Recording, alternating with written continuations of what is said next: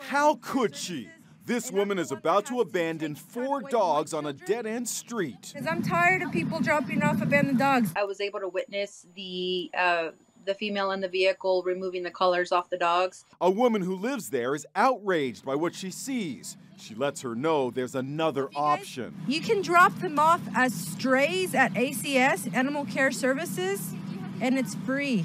Edith Melendez has seen people callously abandon dogs in front of her house in San Antonio before. It's not the first time that's actually happened. I've witnessed it two more times. It's a $500 fine per dog. Some of the dogs try to get back into the car. You can tell they're scared. They don't want to go. But the woman pushes the last one out, then gets in the car as it peels away in reverse. Really? A backseat passenger makes a rude gesture as they drive away.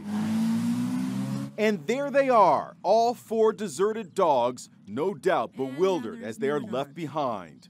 And now there's more dogs. Animal rescue was called. Three of the dogs were found and brought to a local shelter where they were given the names Sam, Max, and Milo and put up for adoption. Hopefully, their new owners will show them a lot more love. Really?